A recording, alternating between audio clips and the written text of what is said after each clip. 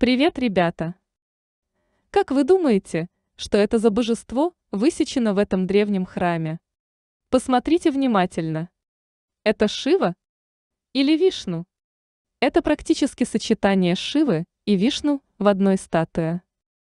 А если провести линию ровно по центру резьбы, то мы увидим потрясающее изображение. С левой стороны скульптор вырезал все, что связано с Шивой, а с правой – все, что связано с Вишну. И эти два бога – полярные противоположности. Шива прост, он собрал волосы наверху. Однако Вишну утончен, на нем длинная, богато украшенная корона или шлем. Даже для того, чтобы завязать волосы, Шива не покупает заколку, а использует змею, чтобы связать волосы. А вот шлем Вишну украшен драгоценными камнями. Лоб – это очень сложная ситуация, и скульптор справился с ней мастерски. Это третий глаз Шивы. Иногда его даже называют пробужденной шишковидной железой. Но вы можете видеть только половину третьего глаза. Что показывает другая половина? С правой стороны вы можете увидеть эту странную отметку. На самом деле это половина урдва-пундра. Что такое урдва-пундра? Это знак, который люди наносят на лоб, и его носил Вишну и его последователи.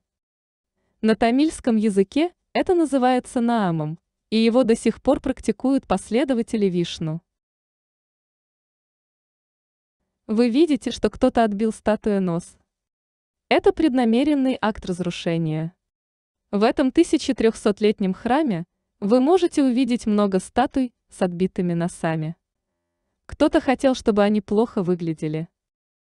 Теперь мы не знаем, какая ценная деталь была вырезана на носу. И некоторые из вас могут сказать, правин, это смешно. Какую информацию можно вырезать на носу, ведь он в длину всего несколько сантиметров. В мою защиту просто посмотрите на губы. Если вы сосредоточите внимание только на одной левой стороне, вы увидите, что у Шивы серьезное лицо. Он известен своей торжественной манерой поведения.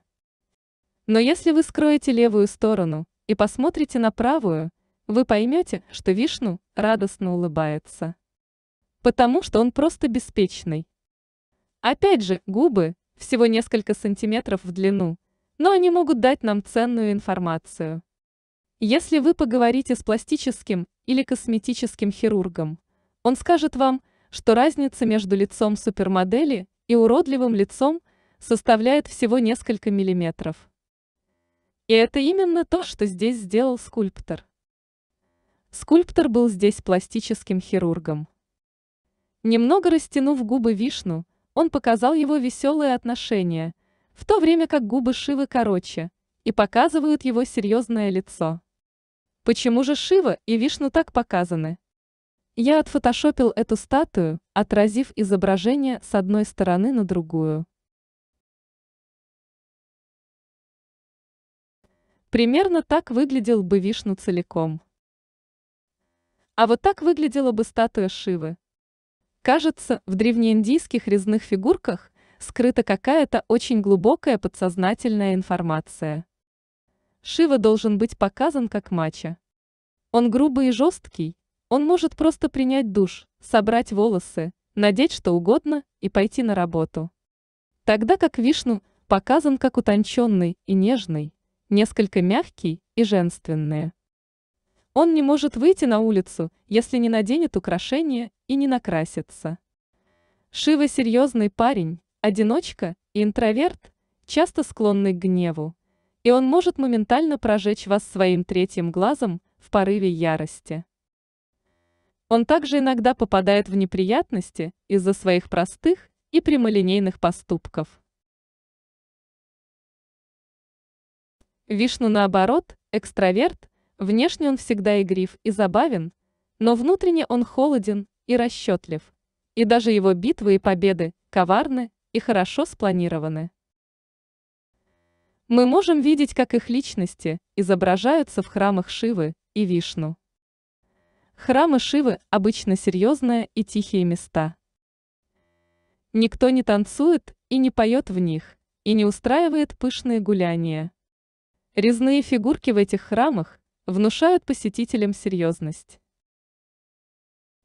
Однако храмы Вишну ярко раскрашены и обычно полны счастливых последователей и простых посетителей. Приветствуются пение и танцы. Даже к главным божествам храмов обычно относятся по-разному.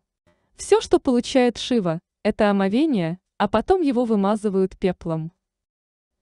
Однако Вишну украшают золотом, серебром и бриллиантами. В разные дни Вишну одевается по-разному, наслаждаясь жизнью в полной мере. Вот почему Вишну называют Аланкара Прен, что означает «любитель драгоценностей», а Шиву называют Абишека Прен, что означает, что все, что ему нужно, это душ.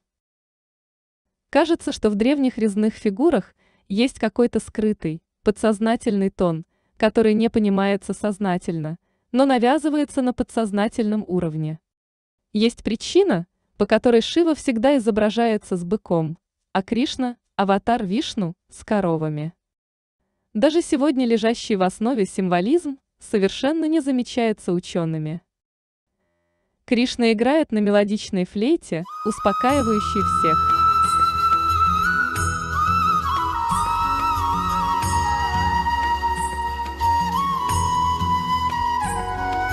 А Шива играет на Дамару, и его бит больше похож на боевой клич.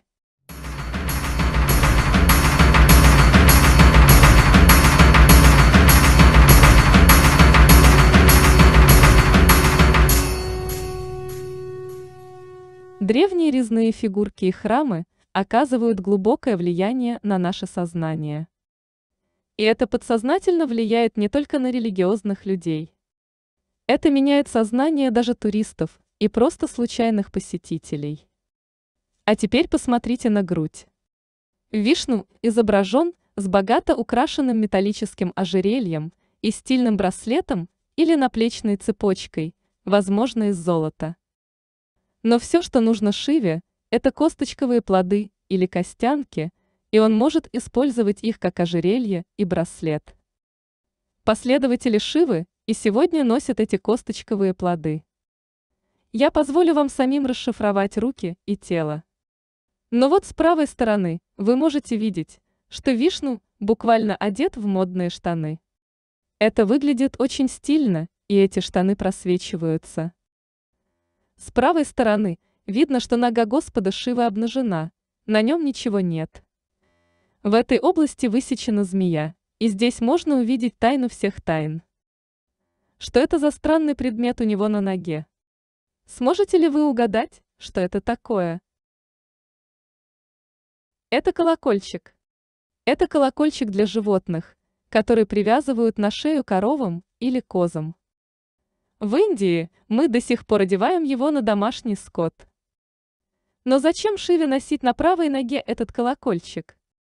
Хотите верьте, хотите нет, но этот колокольчик Шивы на самом деле является горячей темой для споров.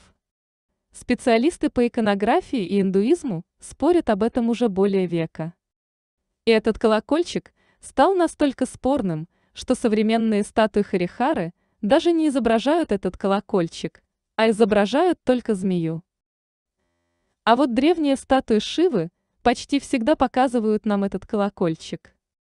И на этой древней резьбе танцующего Шивы снова можно увидеть колокольчик для крупного рогатого скота, привязанный к ноге, а в руке он держит еще один большой колокольчик. Почему Шиву всегда изображают с колокольчиками, и что в этом такого спорного? По мнению некоторых специалистов, Шива принадлежит к низшей касте в индуизме. Он неприкасаемый, он бездомный, он нищий, и поэтому ему приходилось носить на ноге этот колокольчик для скота, чтобы сигнализировать всем, что он входит в дом или даже просто идет по улице. Специалисты утверждают, что в древности этой практике должны были следовать все неприкасаемые и бездомные. И вы можете отчетливо увидеть колокольчик, вырезанный везде – где Шива изображается в виде нищего с чашей для подаяния. Конечно, некоторые авторы приводят это как доказательство того, что древний индуизм дискриминировал различные касты и что в древние времена существовала социальная несправедливость. Но они забывают один важный момент. Тот же самый Шива помещается в святилище, и ему поклоняются как главному богу в том же храме. Так называемый жрец высшей касты должен каждый день прикасаться к неприкасаемому Шиве для совершения религиозных ритуалов. Так что очевидно, что эксперты ошибаются, поэтому вопрос остается без ответа. Может быть, вы сможете ответить на этот вопрос. Почему Шива носит колокольчик, привязанный к правой ноге? Пишите ваши мысли в комментариях. А в мире еще много загадок, но в один ролик они все не поместятся. До новых встреч! Спасибо за просмотр. Все ссылки на источники информации в описании под роликом. Так что пишите комментарии, жмите на пальцы, делитесь этим видео с друзьями, подписывайтесь на канал, ну а мы пока поищем что-нибудь интересное для следующего ролика. Монтаж, перевод, озвучка и анимация студии Эльмукон.